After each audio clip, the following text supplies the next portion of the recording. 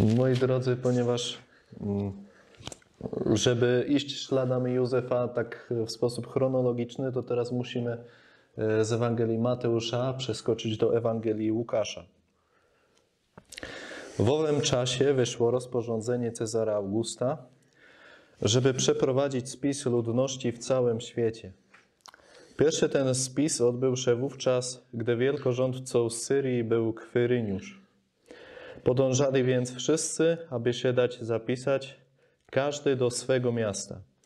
Udał się także Józef z Galilei, z miasta Nazaret, do Judei, do miasta Dawidowego zwanego Betlejem, ponieważ pochodził z domu i rodu Dawida, żeby się dać zapisać z poślubioną sobie Maryją, która była brzemienna. To, co mnie tutaj uderza w Józefie, mm, to jest ta rzeczywistość posłuszeństwa. Y, y, może się wydawać czasami, że, że naśladowanie Pana Boga polega tylko albo y, wypełnianie prawa Bożego polega tylko na tym, żeby, ja nie wiem, czytać Biblię, słuchać Kościoła i, ja nie wiem, państwo świeckie zostawić gdzieś tam na uboczu. Natomiast tutaj widać, że Józef jednak Y, jest posłuszny temu nakazowi, który przychodzi od, od państwa, nie? Czyli mm, w jakiś sposób też wola Boża wpisuje, wpisuje się y, w to posłuszeństwo władzy świeckiej. I ona rzeczywiście um, może mieć taką rolę porządkującą, przez którą Pan Bóg może działać też. To jest, to jest niesamowite. Kiedyś, kiedyś to bym w ogóle nie pomyślił o czymś takim. No ale widać, że Józef, Józef widzi dalej. To też jest tak, znaczy święty Paweł też o tym pisze, nie? że każda władza pochodzi od, od Boga, więc mamy być jej posłuszni, ale tutaj, tutaj chyba jeszcze głębiej można wejść, bo, bo to, że mam być posłuszny władzy, to myślę, że w jakiś sposób da się, da się zrozumieć. Ale tutaj Józef jest e, posłuszny władzy okupanta. Nie? Bo w sumie Rzymianie no, byli okupantami.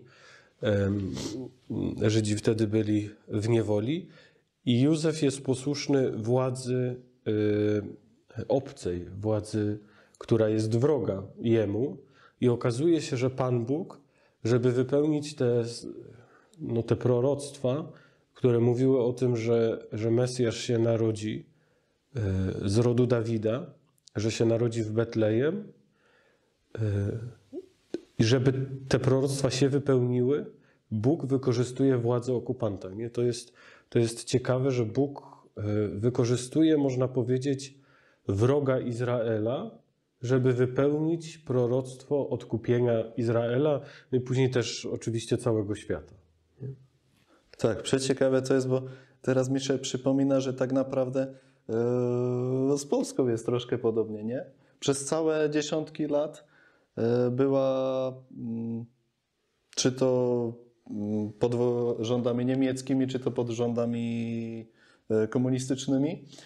E, ale to wcale nie znaczy, że Pan Bóg nie ma dostępu do tej rzeczywistości, mhm. że Pan Bóg nie może zadziałać i że swoich, swoich sprawiedliwych jakoś ukształtować. No na przykład Karol Wojtyła, na przykład kardynał Wyszyński. Cała rzesza ludzi, którzy mhm. potrafili być wierni w tych warunkach, w jakich byli, podczas takiego, mm, takiego rządu, jaki był wtedy. Mhm. I byli niesamowitym świadectwem. Myślę, że to tak teraz mi się skojarzyło, że to też dla nas, czy nie tylko dla nas zakonników, tylko w ogóle dla wszystkich, bo każdy z nas ma jakiegoś przełożonego. Tak. Nie? Czy my mamy przełożonego w zakonie? Każdy, kto pracuje, ma też jakiegoś szefa czy przełożonego. I y, może być tak, że ten szef czy przełożony też jakoś nieprzychylnie jest do nas nastawiony.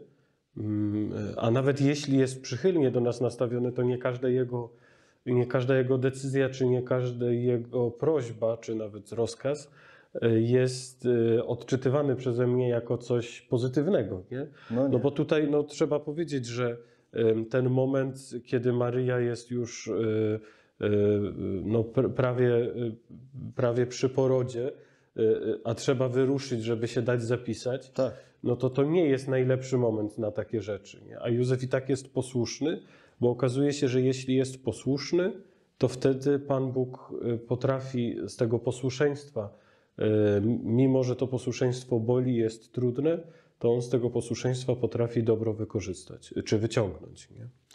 wyciągnąć dobro, a nawet dzięki temu posłuszeństwu Józefa, temu posłuszeństwu takiej władzy nieprzychylnej, e, tak naprawdę przez, e, przez to działanie Józefa wypełniły się proroctwa, bo Mesjasz miał się urodzić w Betlejem.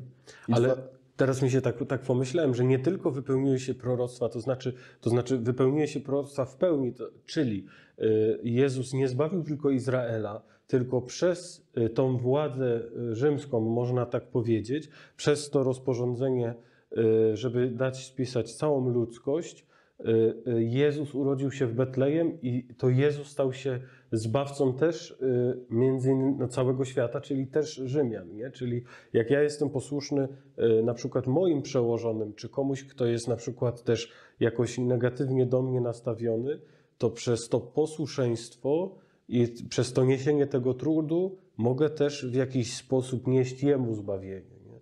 Tak jak Józef, dzięki Józefowi Jezus przyniósł całemu światu zbawienie, a nie tylko narodowi wybranemu.